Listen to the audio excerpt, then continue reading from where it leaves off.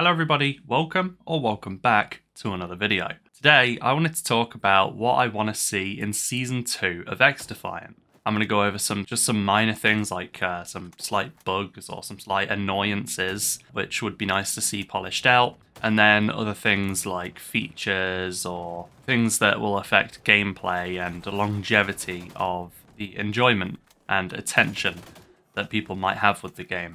So the first thing that I want to start off with is getting into games faster. Now, this one could be entirely a player count issue. It could be something unrelated. It could be servers. It could be it could, it could be a lot of things, right? This game doesn't have skill-based matchmaking, so it's not that that is taking so long to get into games, as this game just simply prioritizes your ping. However, there have been times, particularly in you know, in in my region where I would be playing when maybe uh, other people wouldn't be. I'm talking like three in the morning, four in the morning, and particularly five in the morning. Three times I have tried playing the game, and you get to that sort of 5 a.m. mark, and it's taking you like 15 to 20 minutes to get into a game. Actually, that might be an over exaggeration. It might be more like 10 to 15. But what I've noticed is I don't know if this is how true this is, I've not ran testing on it or anything, but obviously the game doesn't have, it doesn't keep the same lobby, right? Which I think would automatically help this issue. But every time you finish a game, the lobby disbands and you go back into queuing for a new game. Well, what I've noticed is it almost feels like when you are loading in without, you know, fully going back to the menu and then like manually queuing again, when you're just in that automatic queue that it puts you in as soon as you've just finished a game, it feels like that actually might take longer than if you just fully go out and research yourself. I don't know if that's true. Some testing would have to go into that. It would be way out of my ability. Um, so if anyone knows how to do that, give that a try. Or alternatively, if there's any uh, you know people who work on the game watching this video, I doubt it, but you know it might be something to, to look into and this takes me on to my next point quite well anyway. So the next point I wanted to make was um, about disbanding lobbies. Because disbanding lobbies in this game, they... I think it it's a big issue, which really does affect a lot of things in the game. I think this game feels really good for the most part, but something that I think would make it feel even better is if the same names and same people that I'm seeing in games I saw, like, like the old days of COD, where you could like have little rivalries, or you can um, you know see someone who's really good, and you want to stay in that lobby because while you think you know, well, I say think, I consider myself a decent player. In most games, I am going positive or very positive, and there will be times when I'll see someone who's like a level 250 and they're an absolute demon. And I would love to be able to stay in that lobby to kind of get an idea of what they're doing, what they're using, um, you know, kind of absorb the information from that player to make myself a better player. But obviously, with disbanding lobbies, unless it's like those super late lobbies where you might see someone again, um, yeah, you, you're probably not seeing that player again. The next thing I wanted to say, I mean, this is everyone is talking about this. Literally everyone is yappy, yapping, yapping, yapping, yapping about this.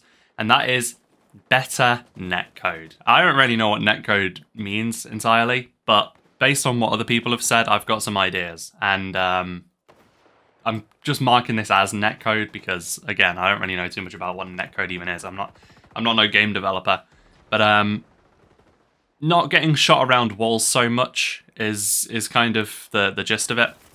There's a lot of gunfights I'm in where it'll be quite a long range gunfight, right? And there's a lot of uh, map geometry between us. So a lot of the times I'll do like a slide jump around the corner, and I'll be a good like four or five feet around the wall, and then I'll still die.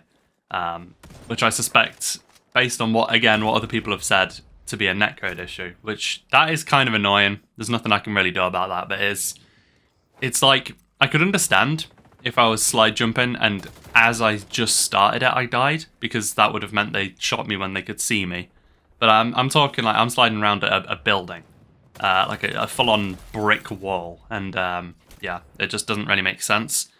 Uh, that along with what I've noticed happening a lot recently, and I think this might be netcode as well, is let's say um, I'm using, it's most notable, it's most noticeable with weapons that do uh, a lot of damage. So like snipers. Um, let's say you're in one of those moments where you both shoot each other. There's a lot of times when you both shoot each other and you both die, right? I understand that. That can happen. But there are also... There's times when that happens, I see a hit marker. Bear in mind I'm using a sniper. And when I've died, and you get to see the, the, the guy who killed you running around, his health will say 100, even though I've just shot him in the chest with a sniper and seen the hit marker. I think those two things are quite important for just a lot of people. Like it's it happens once or twice a game generally, maybe three times. You know, it's not super common, but it's kind of annoying. Now, the next thing that I want to see in Season 2 is something that I do not hear people talking about at all, actually. It's completely a me issue, uh, from what I can tell. But it is something that I do want to mention and I do want to show off because it is important and it is I mean it's not it's not the end of the world but it's something that I would like to see you know that's that's the point in this video and that is uh, better contrast on the reticles and what I mean by that is there's a lot of times when you're using a sight like a, a red dot or a holographic where if you are looking at something that is bright so there's one map in particular which is um it's an escort map it's got an inside section and an outside section. Um, if you're looking outside uh, with a red dot and you're inside, you can't see your red dot at all. And there's a lot of points in the game where this happens, and it just it, it's I don't really like it. it. It's distracting and it makes you lose more gunfights than you should be. But again, it's uh it's not a huge issue. Oh, it wouldn't be the end of the world if that wasn't changed in season two. But again, it would be nice to see. The next thing I want to see is more game modes. We've been getting teased with uh, Search and Destroy for a while, and I think Search and Destroy on this game could be a lot of fun. There's a lot of really good maps, particularly the. Um, I would like to see like segments of the escort maps used for Search and Destroy. Because generally, what I'm playing in this game is Team Deathmatch. That's pretty much all I'm playing personally. Um, so I only see the like 6v6 maps. But I think it would be cool if we could get some of the escort maps, which are much longer, much larger maps, uh, kind of segmented off and used as um, like search and destroy, and uh, maybe even 6v6. But I think uh, search and destroy in particular could could benefit from that. It could be it could be a lot of fun. But yeah, just more game modes in general. Um, free for all would be nice. Um, maybe some uh, party modes like gun game or um, things like that one in a chamber.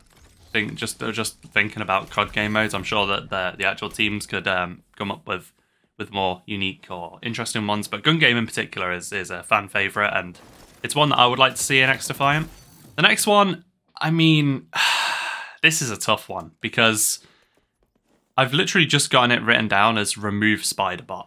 Now, do I think the spiderbot has to be removed? Not necessarily. I think we could quite easily get around nerfing the spider bot. I don't know how they would do it. Um, maybe instead of it jumping on your face, it just uh, like zapped you from the ground. Um, and then you could just look down and like find it and shoot it. That could maybe be a, uh, a, a one way to counter it. I think would be a lot more uh, game friendly because there's times, especially if you're using a sniper like I have been a little bit recently, uh, if you're using a sniper and a spider bot jumps on you and you try and look at your feet to like get it off, it's it's like 50-50 on if you can even shoot it off.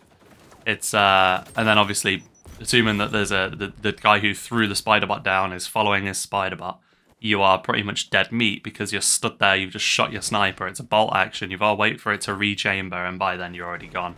I would like to see some sort of nerf to the spider bot. It's it's just goofy. It doesn't feel um, fair. It doesn't really feel fun. Um, it just it's very anti-fun. I feel like uh, I get jumped on by a spider bot and it just it's annoying because I already know that I'm probably gonna die and there's literally nothing. Like, don't get me wrong, there is something you can do about it, but the, the something that you can do about it is very hit and miss and I just don't like it. I would like to see something done with, with the spider bot, whether it be changed for a different ability or whether it be, um, like I said, just nerfed, maybe just have it zap people on the floor. And the last thing that I have on my list, now don't get me wrong, before now in Season 2, I think it's like a couple of weeks away, uh, I could maybe come up with some new things, but uh, bear in mind I've been playing for about a week again since I've gotten back into the game, and this is all the things I've written down. The last thing I've put on here is iron sights for snipers. It's a pretty weird one, and a lot of people might disagree. But I'm not saying put red dots on. I'm not saying put like short scopes on. I'm saying give us like iron sights. Like if you if if any of you guys have played uh, Black Ops 2, you probably have. You'll remember the ballista from that game. You were able to put an iron sight on it, and it was kind of cool. I, I think that's kind of a cool addition. It's more more creativity, more options. There's no skill based in this game, so it's not harmful to the game really. Um, I think it could be a lot of fun. Uh, it could, the downsides of it could you know work well enough to to make it balanced as well. And uh, yeah, I just think it's something that I would like to see. Again, everything I've said in this video is entirely just what I would like to see in the game for Season 2 um, alongside the obvious things like you know more maps or you know more guns and stuff like that they're given you, you're going to see those anyway. But yeah that's about it. Leave a like on the video subscribe to the channel if you want to see more and consider joining if you want to support me financially. Thank you. Have a great day and peace